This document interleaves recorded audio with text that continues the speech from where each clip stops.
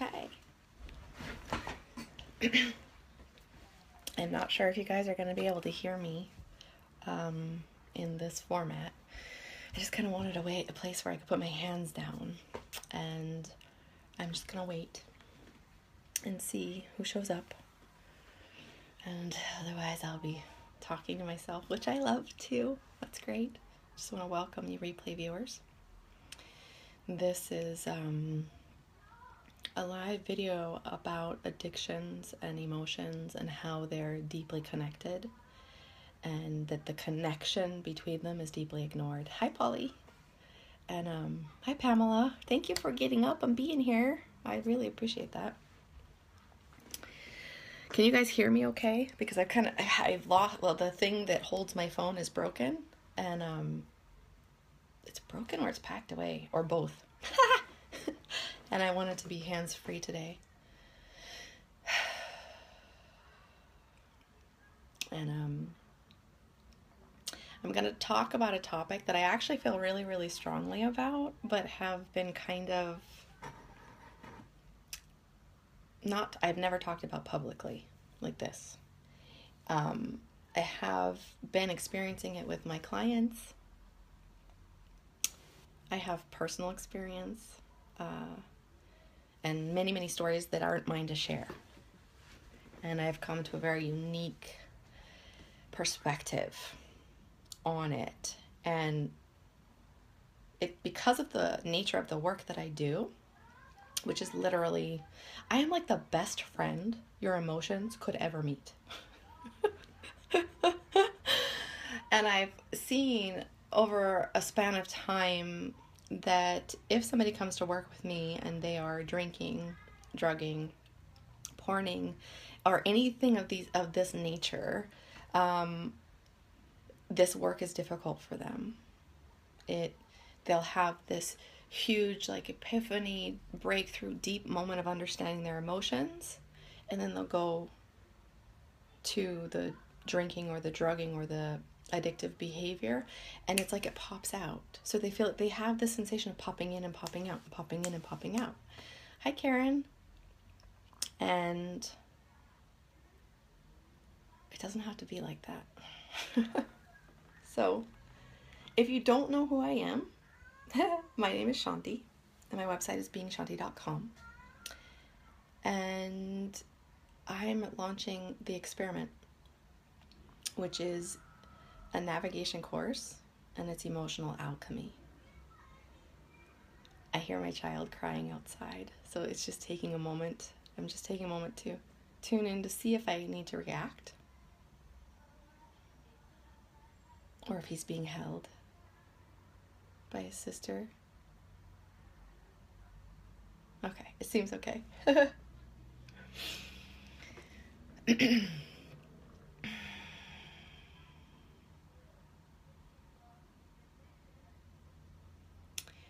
Addiction comes from rejecting emotions.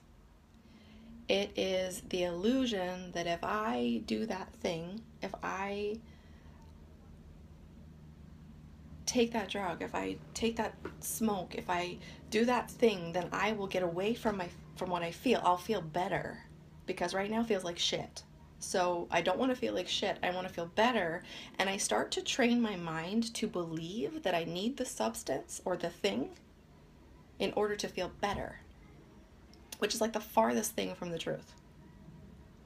We are capable of, I like the way that just came out. I, we are capable of fabricating the same experience of substances within our body at any time that at any time that we want. But what happens with addiction is we put we think I feel like shit. I don't like it, so I'm going to drink or I'm going to smoke or I'm going to porn or I'm going to shop or I'm going to whatever. I'm going to be violent because some people truly believe if I'm violent towards you, I will feel better. Hi Jay there's a true belief that if I do that thing, if I do the addictive behavior, I have to be clear about addiction in just a second. If I do the addictive behavior, then I will feel better. And you start to set in place neurologically this idea that I can't feel good, I can't feel better, I can't be myself unless I do that addictive thing. So I, I want to be clear. I'm using the word addiction, hi Michelle, because we it's a language piece that everybody. If I say addiction, everybody knows what I'm talking about. It's not like, it's not obscure. It's not strange. Like we know what that word is. And I also want to be really, really clear that I don't believe that it exists. I don't believe that someone is an addict forever into infinitum. So, we go through a period of time, we create a pattern, we begin to smoke, drink, drug in order to feel better. And we start to believe that we can't feel better, we can't sleep, we can't relax, we can't enjoy life, we can't be who we are unless we're we have that substance. We we can't do it. So we become dependent on the substance as a permission slip to feel better. And what's being sorely neglected there are emotions. Like it's not a, basically what we get told a lot is don't feel anything. Don't feel your emotions. And sure shit, don't feel your yucky emotions. Don't feel icky, don't feel uncomfortable. So as soon as you feel uncomfortable, you need to take this and that so you feel better.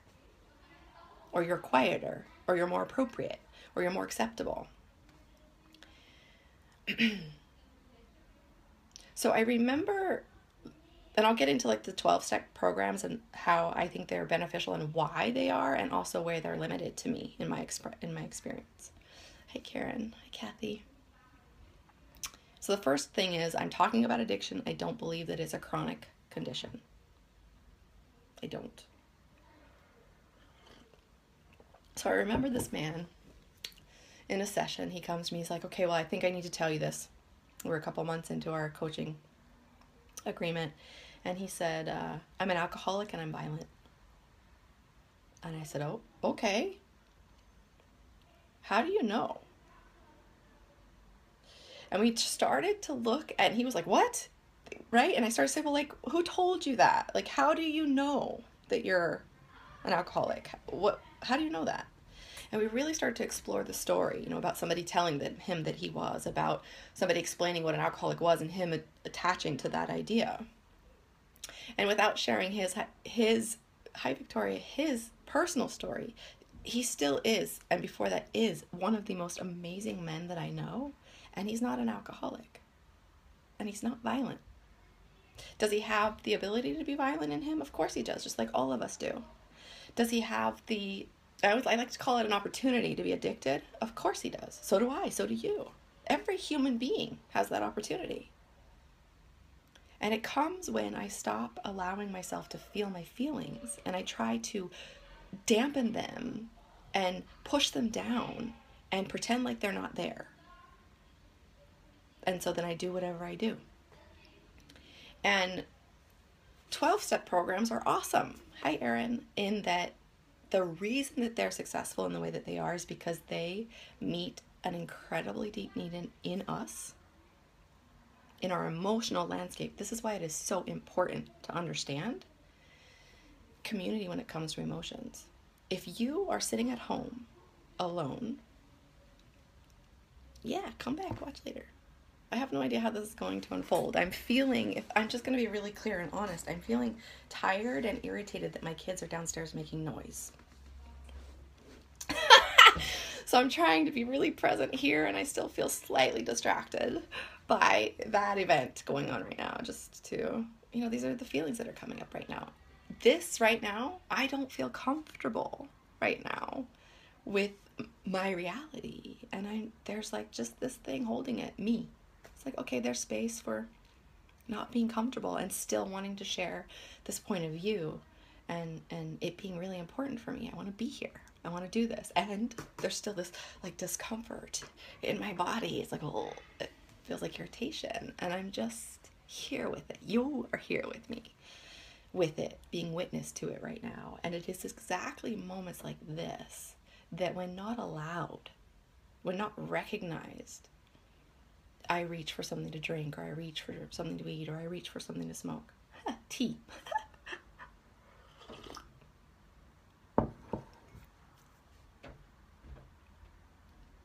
So, 12 step programs. The reason that they're such a relief for people is that you come into a community And our emotional landscape, our emotional experience, we are, is vital that we come into community. So if you're at home alone or you feel alone in life, you will more likely turn to a substance. These are just statistics, but I know plenty of examples and talked to plenty of one of my best friends. Both of her parents were drug, drug addicts and died of AIDS, and she never touched a drug or anything. And through that experience, she learned that my emotions are my best friend and they're my superpowers because of what she grew up watching and knowing and understanding. So just because you have li- grown up in a ripe environment for it, for it does not necessarily mean that you become it. Um, we reach out to drugs in order to feel closer to ourselves. Yeah, to feel closer to ourselves. To feel like, okay, I'm not so alone. If I smoke this, if I drink this, then I relax around the idea that I'm alone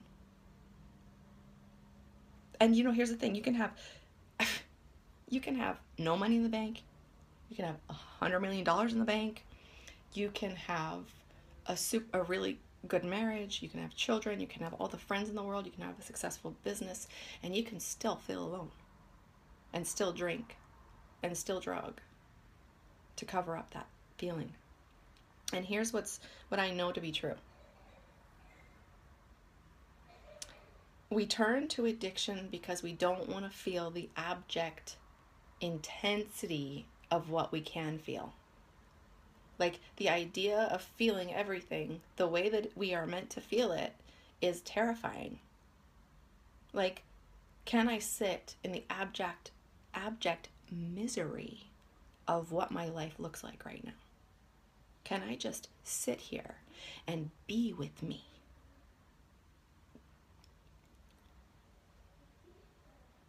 Can I feel the terror in my body? Can I feel the devastation? Can I feel the disappointment?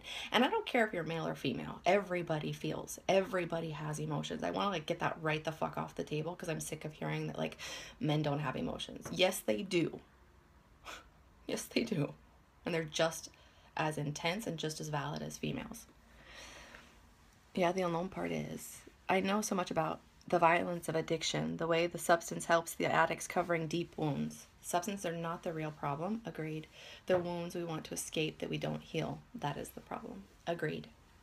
And so you go into a 12 step program and you get community and you there's a fulfillment in our emotional landscape from community. We so community is so beautiful when we're doing emotional work.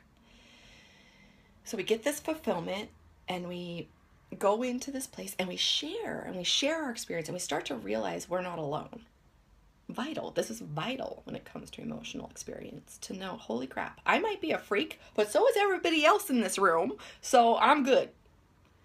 And so we trade the addiction of being addicted to a substance to the addiction of being an addict. I'm gonna let that sit for just a second.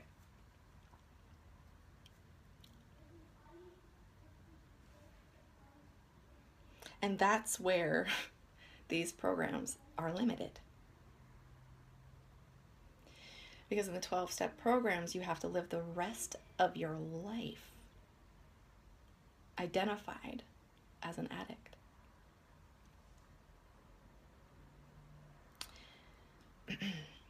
There's some benefit to that, in that it's successful to a certain degree.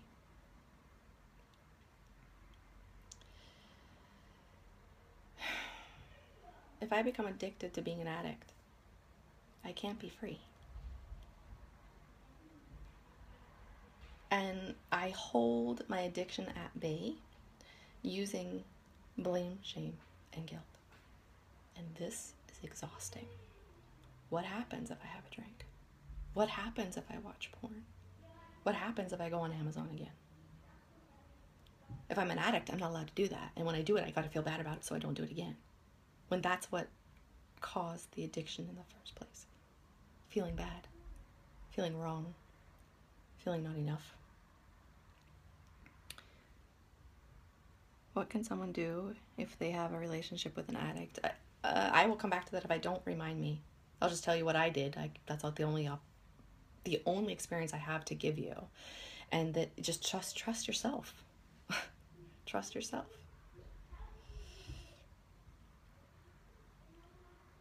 It's okay to feel the way we feel. And this we don't believe that in our bones and so we become addicted to a substance because the substance lets us feel like it's okay to feel the way we feel. It gives us permission to feel how we feel. But it's a lie and it's an illusion.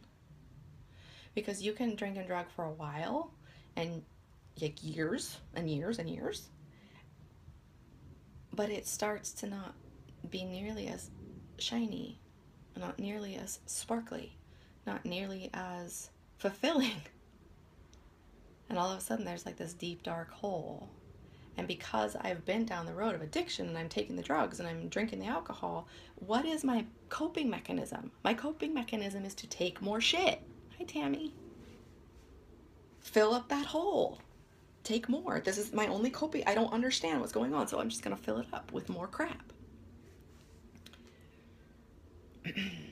Blame, shame, and guilt.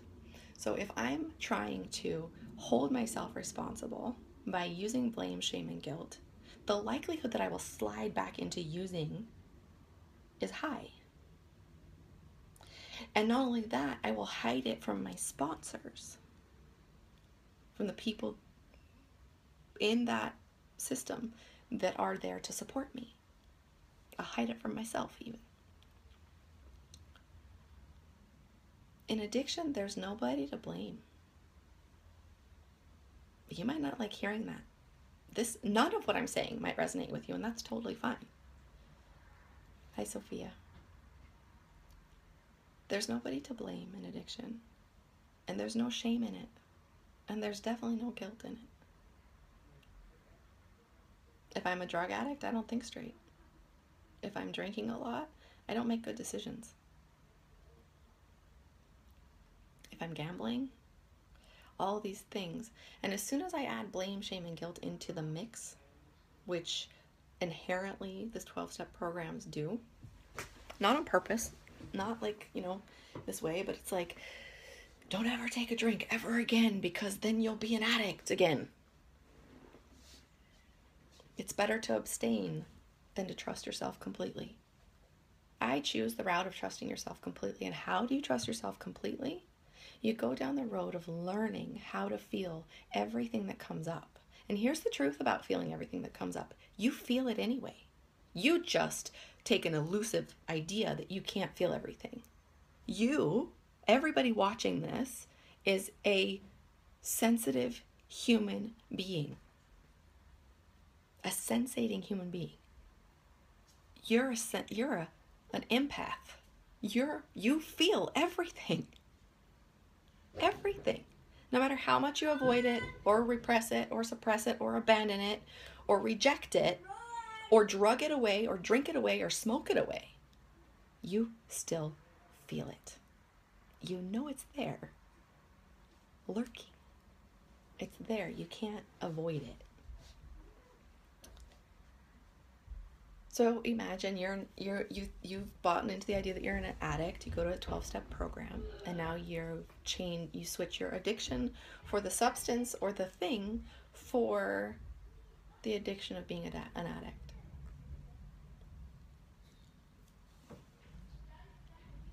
Emotions are so important. They deserve so much space in our lives. And if you're dampening your emotions by taking something, this is, I have to say it again stop making yourself wrong. Please. Stop making yourself wrong.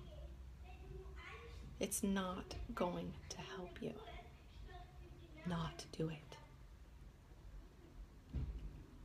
Don't make yourself wrong.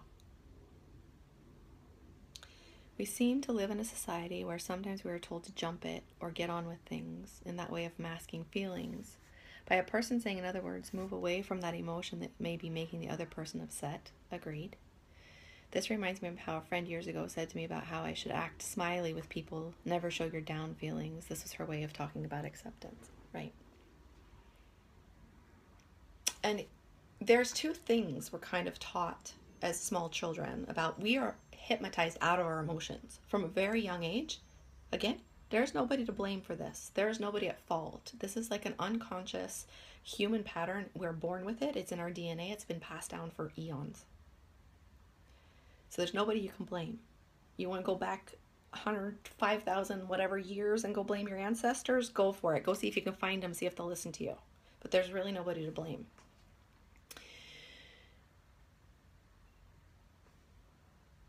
When we're little, we're taught that our emotions are not acceptable, even though we know damn straight as a kid that our emotions are perfectly fine.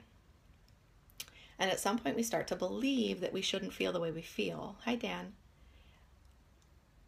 And we're taught two things we're taught not to feel what we feel, not to express our emotions. But if we do, it's okay to express it at somebody else. You stop feeling that way. So I'm having an emotion, obviously, and I'm telling you what to do. I'm telling you what not to feel. So don't feel your feelings. But if you do, if you are mad, express it outward. So we drink and drug and addict ourselves so that we do not express our feelings. We're trying desperately to get away from the, the, the idea that we even have emotions. Let me pretend like this isn't going on. Hi, Kylie. Kaylee. Pardon me today.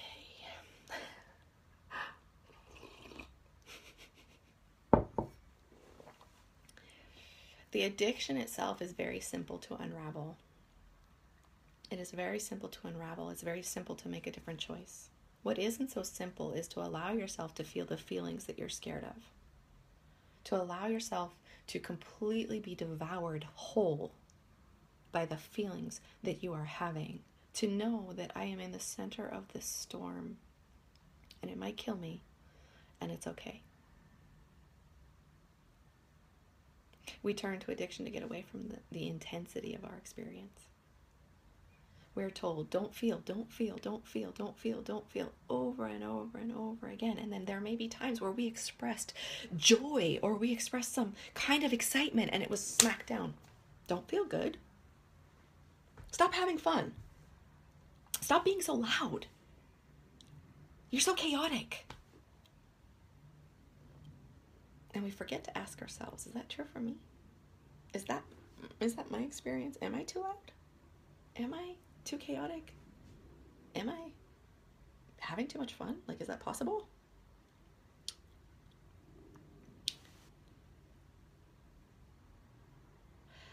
Being labeled an addict for the rest of your life within yourself is super painful. And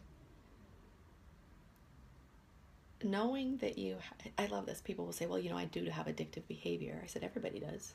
There's not a human on this planet that doesn't have addictive behavior. There's not a human on this planet that at some point or another is trying to avoid how they feel.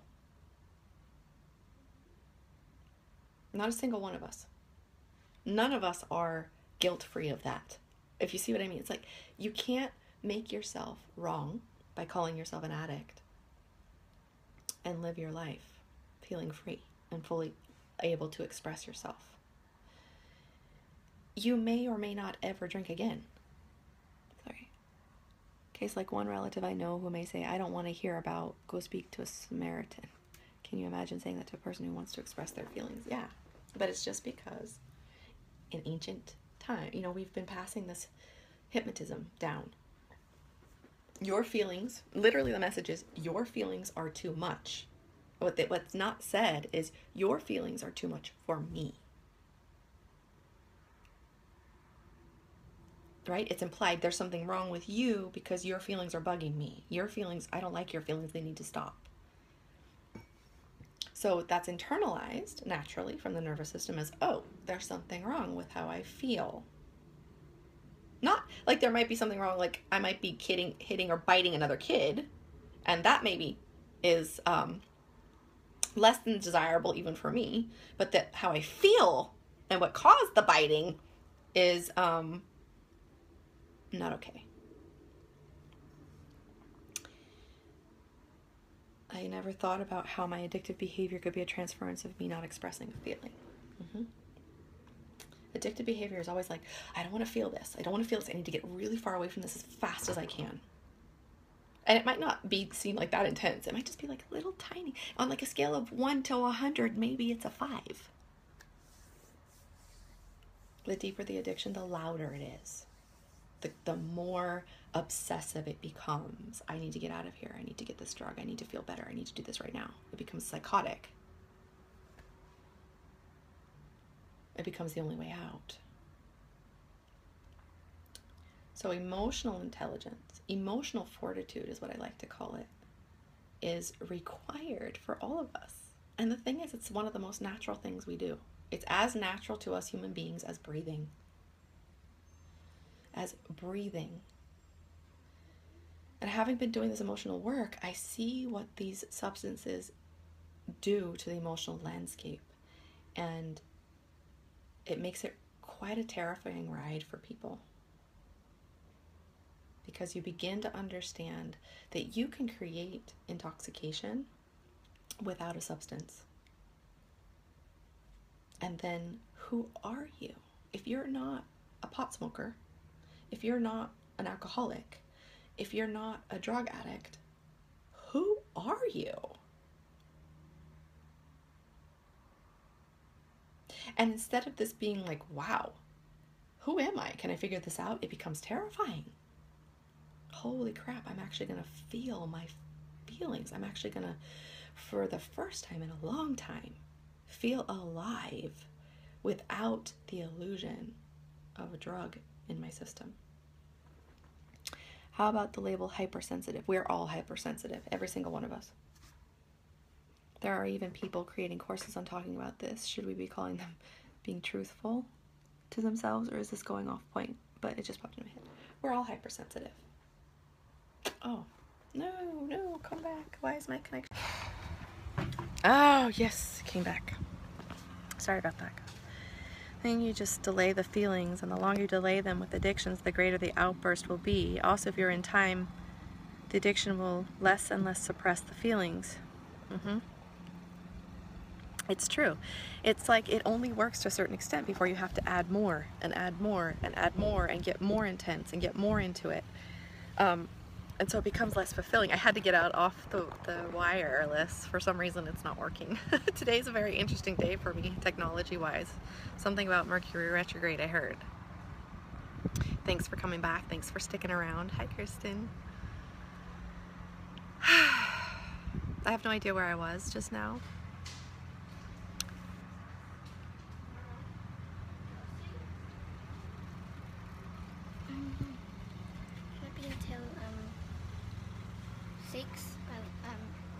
Club 6 by Lala mm-hmm. because mm -hmm. you're done at half I'll be sassy. Yep. Okay. Yep. okay. So, addiction and the emotional landscape. The only way that we actually truly feel alive. Oh, the hypersensitive. We are all hypersensitive. Every single human being is hypersensitive. It's the level that people go through life is the level of how comfortable they are, how rooted they are in, in the knowing. I'm, I'm hypersensitive. I'm okay with that. It's okay that I'm hypersensitive. It's okay that I feel what I feel. I feel everything. I feel everything and then some, like beyond everything. And it used to scare me. And it used to make me feel like a freak. Until I really got this emotional piece, started to teach it, yeah, without addiction, who are you? This is the ter most terrifying question for most addicts, people who identify as an addict. Thank you.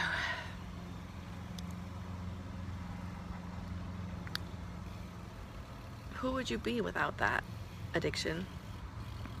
And this is scary because you're fucking already awesome with the addiction. So you're like wide open brilliance without it, right? Like this is something to know that if you are needing to drink every night, if you are needing to smoke pot to go to sleep, if you are like telling yourself that you need that, you're lying to yourself. And this is where it's really important to get really honest with yourself, but I don't want to imply that you need to feel bad about the lie. You don't. You didn't do this on purpose. You cannot we do not create addiction out of conscious awareness. Nobody does it on purpose. And nobody's proud of it. And nobody, again, there's nobody to blame here. There's nothing to feel guilty about, nor ashamed about. It's like being able to look at the behavior with these eyes of knowing the innocence of it the innocence of the addiction, the innocence of the pattern, the innocence of, of what's going on for you. Blame, shame, and guilt have no place in addiction recovery. If you get nothing else from this conversation, I really want you to hear that. There's nobody to blame. Not your parents, not society, not the school, not the drug dealers, not the beer, alcohol what do you call them? Verkaufer, uh, people who sell it, all that stuff, not the porn industry. There's nobody to blame. There's that, which, and when you are emotionally for, when you have your own emotional fortitude inside of yourself, you know right away what resonates and what doesn't. So I can have a few sips of a sweet wine on a in the summer and I'm like, that's good. I'm good. That's done. I can't get on now, but I'll check back later because the way you question on this topic, what about the best musicians, scientists, and athletes who have the proof of their own pudding slash work and say that psychoactive herbs are a tool for them? That's a good question. Okay. This is where we're going to talk about plant medicine because it's a big thing these days. Well, it's just a plant.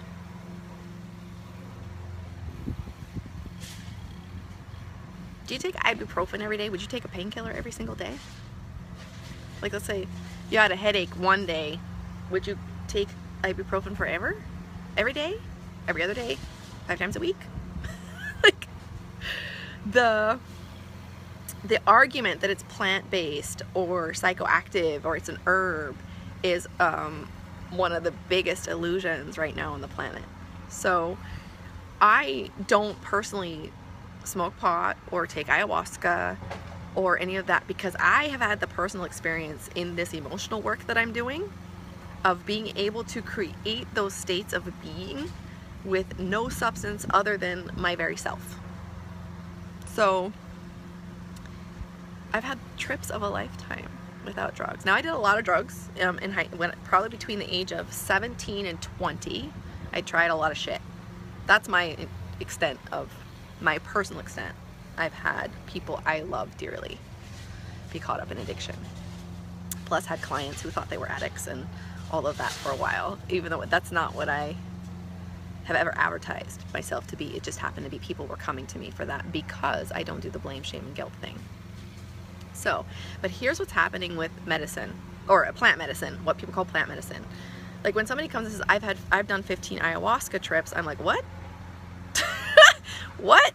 Okay, this is supposed to be this conscious uh, medicine thing, and it's, it's turned into something you're using to avoid being here, not realizing what you think was the ayahuasca trip was permission that you gave yourself to open yourself up to more of your own innate ability to see and witness life through those kinds of eyes.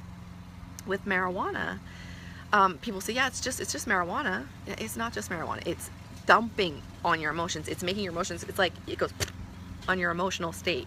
It doesn't enhance your emotional state. It closes down and clamps down on your emotional state. So if you're like going conscious, here's another thing. If you're smoking pot every day, this is a great one. I, I know pot um, and I want to say methamphetamines very well.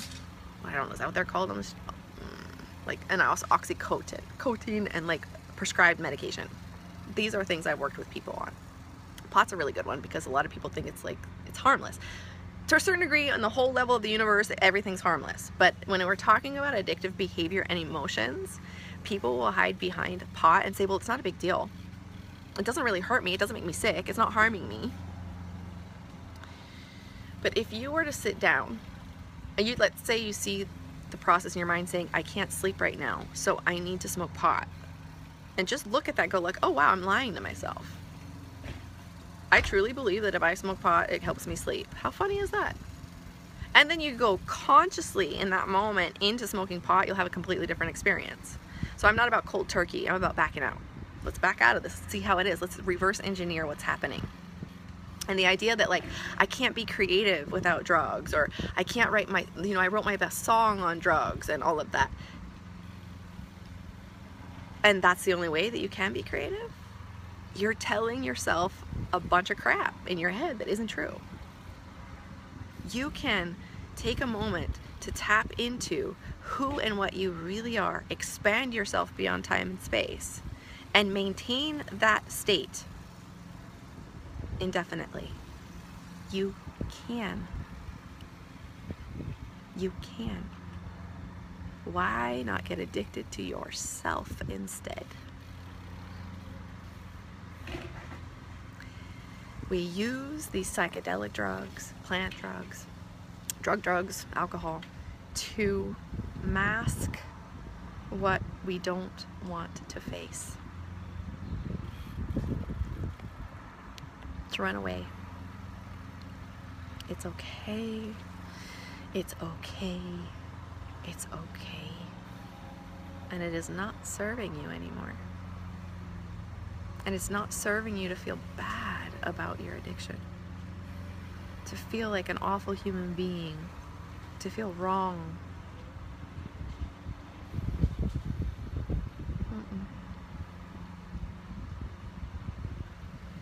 Really, one of the most kind things you can do is admit, I'm Hyland, yeah, love yourself now, essentially. And in loving yourself, back out, reverse engineer what you think you're addicted to. Go cold turkey if that's what it is for you. If that's what's, but listen to you. People like, well, I've been addicted and I haven't been listening. How the fuck can I? I don't even know what the hell I am. And I'm like, just slow down for a second because I don't care how hardcore you are on drugs. If you slow down enough, you will hear that thing inside of you that says, This is bullshit. I want to live. You take that moment and you listen, it can shift everything for you in a second. Better yet, find somebody who will love you. This is why, again, my 12 step programs are so awesome because if you've been addicted to drugs for a long time or alcohol and you've burned all your bridges, everybody's abandoned you, Nobody can put up with your shit anymore. There's people in these groups that will love you anyway. Start there. Don't get stuck there. You are allowed to come away from the addiction of being an addict. You are allowed to outgrow your 12 step program. You are allowed to see beyond that space.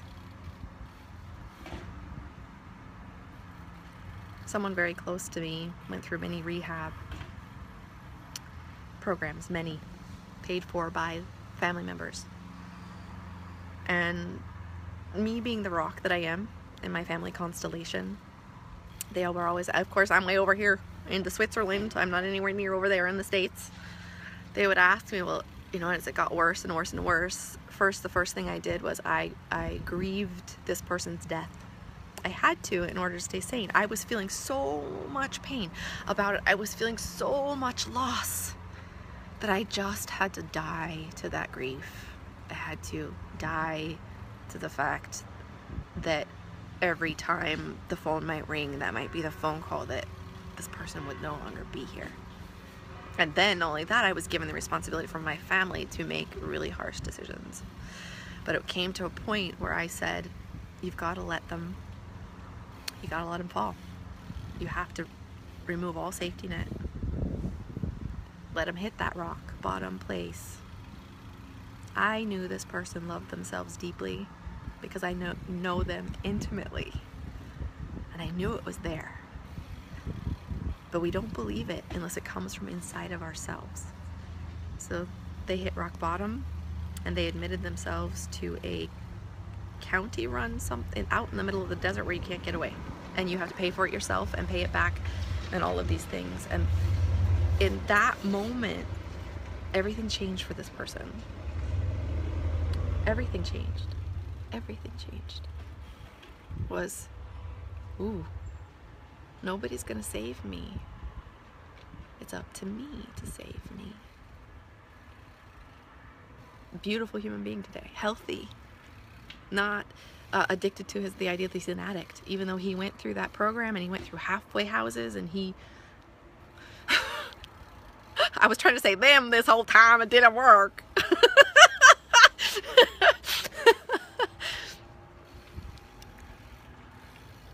the, been through the classical program, he no longer identifies as an addict, and that is for me the most beautiful, the most gorgeous experience. Is that I'm not, I was never wrong. I wasn't bad. And this person started drinking and drugging when they were 11.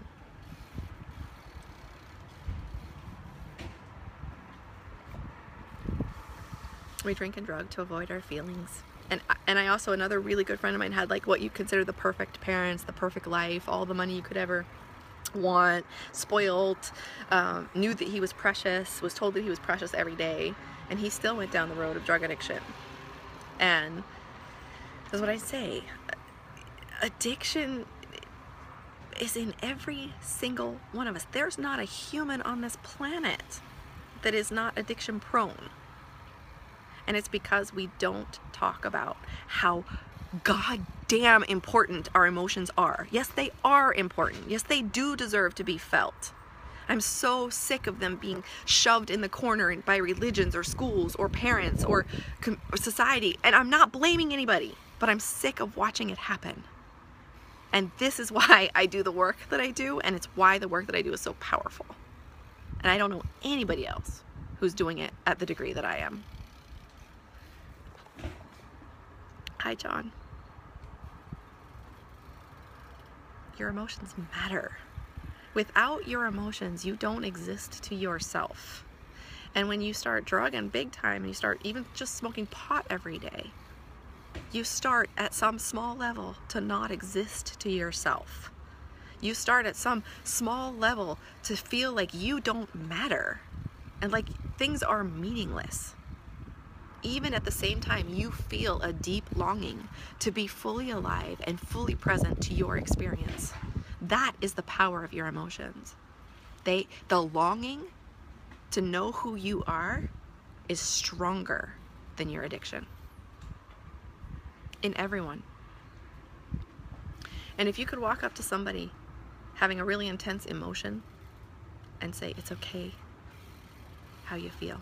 It's okay to feel the way you feel. I will sit here with you.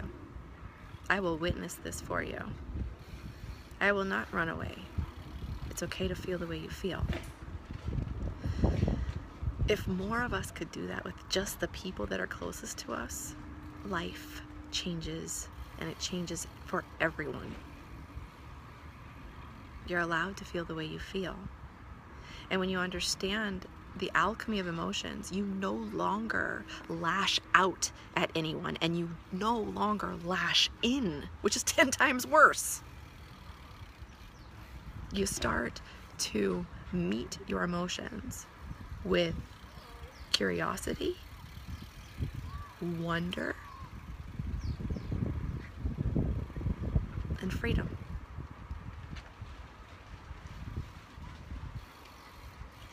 We're not here to transcend our human experience. We're not here to not have a beer or whatever. Like, I don't need this. I can alter my state of being just like you can in any moment, into any state.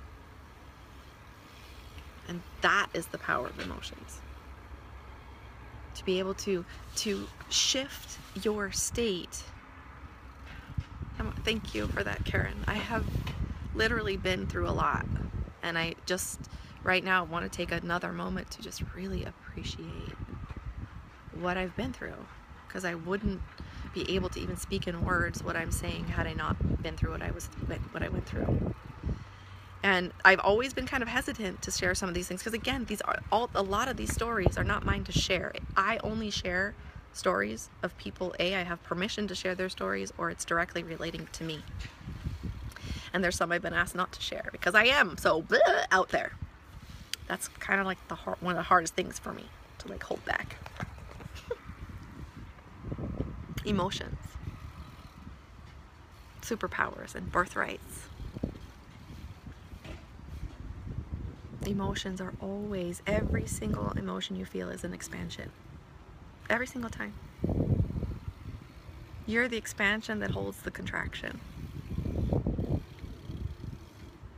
Without emotions, you don't even, you don't exist to yourself. That's why when you drug yourself, you literally drug yourself away. You drink yourself away, you smoke yourself away, you begin to disappear to yourself. And as one of my clients said, when she got clean, she was never dirty. Please, you're never dirty. Was holy crap. This feeling of being in my own skin. There is no drug that comes close to this, to feeling at home in myself. Even I don't know who myself is. There's nothing that can come close to the euphoria of being you, completely unadulterated, completely untethered, completely expressed. And when you start to come back into expressing your emotions, you're going to mess up. You will. You're going to hurt people's feelings. You absolutely will. You're going to stomp on some toes. you're going to hurt your own feelings. And you're going to get back up. And you're to know exactly what to do because you trust yourself and you trust other people's emotions. When you allow yourself to feel everything, check this out. When you allow yourself to feel the devastation of someone you love's addiction, the devastation of that. Literally, you truly believe some from some place this person is killing themselves. And I love them. And I don't want to see them do that. When I meet that devastation in me, I can sit across just this table from the drug addict and meet the devastation in him or her. Fearlessly, openly, I meet you here. This is an interesting question, Pamela. How did I get so strong? You know, the funny thing is, I don't feel strong. I feel that's not true. I guess my strength is revealed to me over and over and over again. That's what it is. And I feel open and willing to feel everything ugh, even when I don't want to. Like right now, I do feel kind of poopy a little bit. I feel a little bit. And I could avoid it or I just feel it. I'm like, okay, it's here. Here's this kind of icky discomfort feeling. And a part of my brain is like, go take an ibuprofen um, which I very rarely do. Um, another part of my brain is like, you're going to have a headache forever. Another part of me is informing me that my period is coming in a couple days. Like, you, your mind wants to come up with all these reasons why you feel what you do. Instead of, hey, guess what? What if I'm just feeling the way I do and there's no reason? no rhyme. I'm just feeling a bit. I don't want to call it low. I feel a little bit. It's not true. This isn't the word, but it feels a little bit melancholy. I feel a little bit melancholy. That's the kind of feeling I have, this feeling of wanting to be slow, this feeling of wanting to be soft, this feeling of wanting to be present to myself.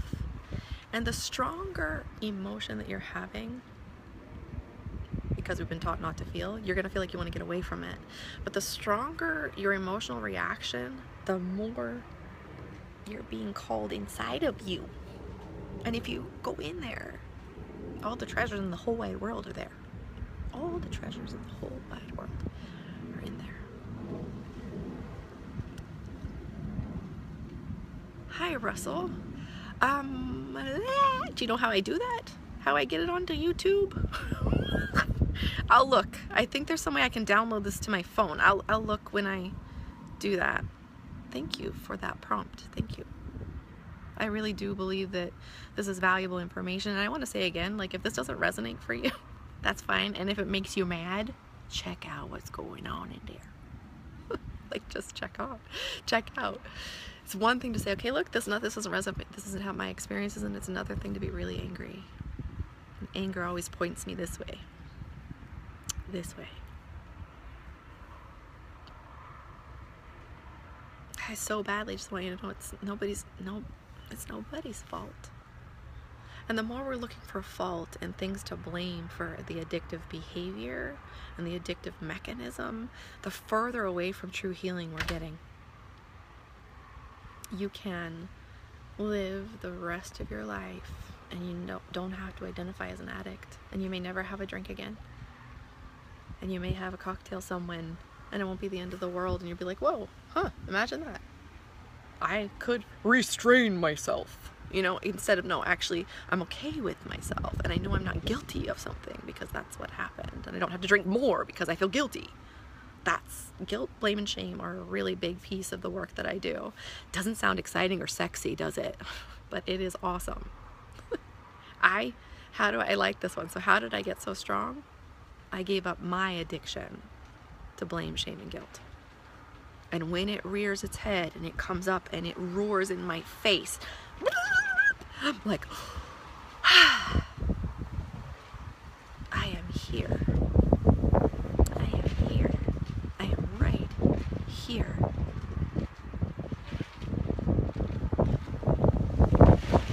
I don't let them run my life anymore. And it's because I see them as the beautiful thing that they are. Um, shame and guilt as emotions are beautiful. The alchemy of shame and guilt are really beautiful. They're always bringing you home. And if I have to blame somebody, I'm just trying to feel safe. I'm trying to feel safe. That's the alchemy of blame. I did a video on that yesterday. But we also are addicted as a culture, as a humanity, to blame, shame, and guilt as a way to keep us from being bad people, from, to keep us from doing bad things. But if I have a drink and I feel guilty, I'm, I'm gonna have another drink because I don't like feeling guilty. Guilty feels like shit. So I think I'll have another one, another one, another one until I don't feel anything. Or I'll, I have all these things I need to hide, so I'm gonna smoke pot. I'm just gonna keep hiding it, keep hiding it. I'm gonna hide from myself. I'm gonna hide, I'm gonna hide. And that shame just continues that cycle instead of, hold up a second. Is this really what I wanna be doing? Blaming, shaming, guilting myself into addiction? and then use blame, shame, and guilt to get out of addiction and hold the addictive identity in place. I'd rather just everybody be free of the blame, shame, and guilt addiction. Not blame and shame as no, guilt and shame as emotions are, like I said, the alchemy is really beautiful. If I feel shame, it comes up my chest and up over my ears it, in, in blood. It goes, and I'm like, whoa. And if I feel that deeply, it is telling me you can't do anything wrong. It's not telling me be embarrassed. It's like, oh, wow. It's such a strong visceral, vis visceral reaction. It's telling me, I got you. I got you from behind and around and where you're vulnerable. You can't do anything wrong. Nobody to blame. It's not your fault. And here's what I I believe in full responsibility in life full responsibility, and it's not an easy road. So, let me explain what that is full responsibility and how I describe it. Full responsibility is no blame, shame, or guilt in any direction. It's not an easy road. No blame, shame, or guilt this way or this way. Only then can I be 100% responsible for my life? The bells are gonna go. Hi, Did I say hi to you, Daniel? If you're still here, hi.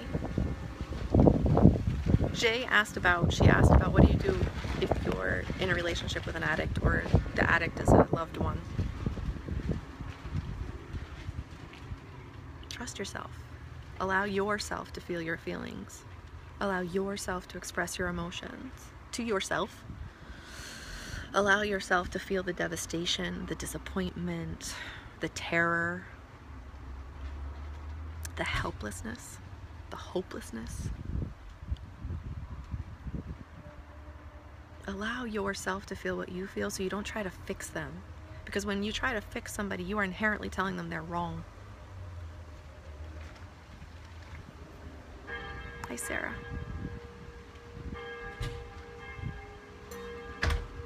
Share with them how you feel but not in a way of trying to make them feel guilty for that. Just, hey, I'm scared for you, and I and I don't want you to change anything for me. I'm just, I just, I, I really, actually, if I get really honest in this moment, I want you to know I love you. I love you so much. I don't know if I'm ever going to see you again. I love you. I love you so much. You're important to me.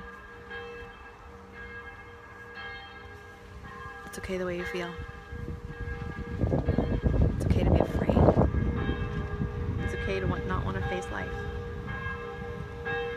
Be honest with your the person you love who's addicted. Be honest. Don't tiptoe around. Don't try to be. Don't treat them like they're fragile.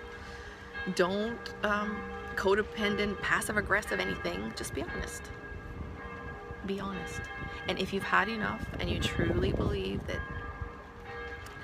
I can't anymore, it's okay to let go.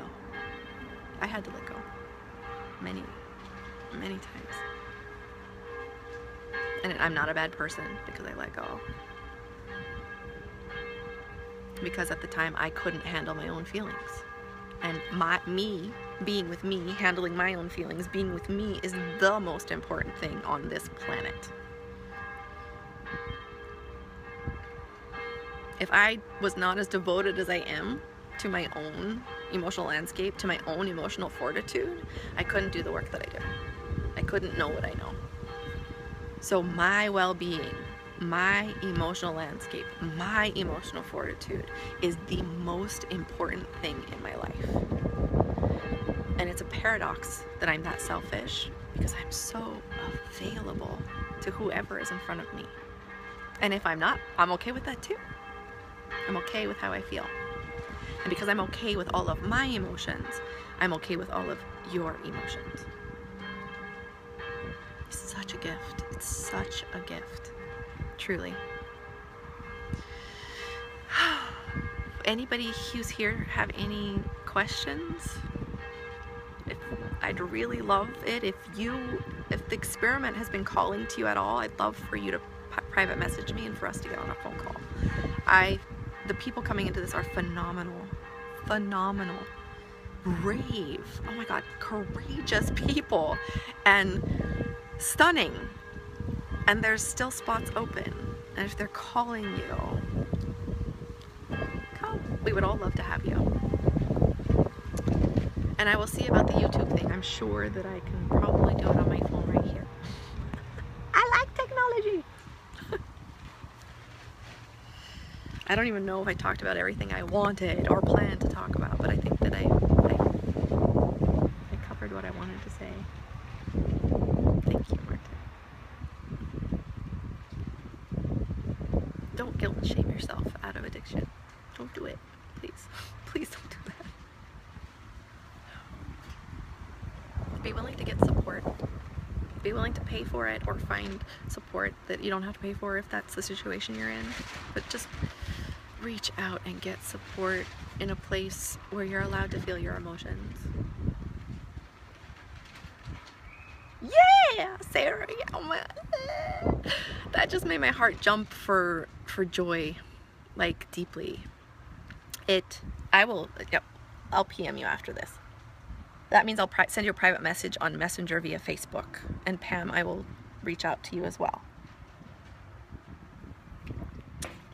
there are um, payment plans and everything and I want to make this really easy for people to say yes and I really need to be clear too about the financial piece it will never be available at this price point I've made it affordable on purpose like I want people in this and this group will be like the core group that really launches the experiment out into the universe and I'm really excited about it like this group of people coming in will be like the ambassadors of it's okay to feel how you feel and doing their work out there and taking this further. And um, I'm super excited about that.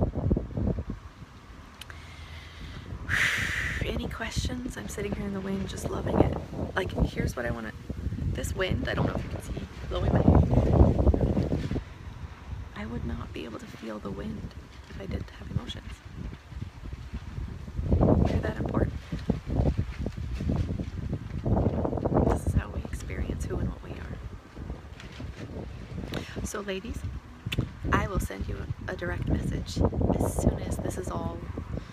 Oh, technologically, magically finished. And everybody who is here live, everybody who comes afterwards, thank you for your attention. Thank you for being here with me, and thank you for allowing me space in the opening of all our minds.